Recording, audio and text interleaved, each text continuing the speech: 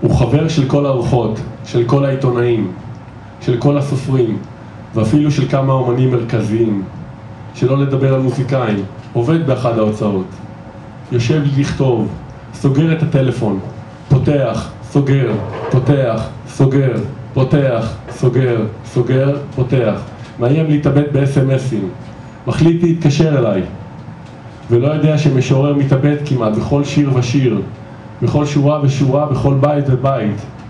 אני לא עונה לו, רק מקשיב. אה, אתה חבר שלי? הוא שואל. כן? אני משיב, למרות שלא ראיתי אותו כבר חצי שנה. אז, אז מה משמעות החיים?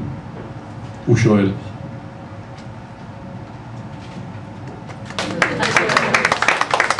אין המשך. כולם רוצים המשך, אין המשך. הלוואי וידעתי. חוץ מהקדוש ברוך הוא.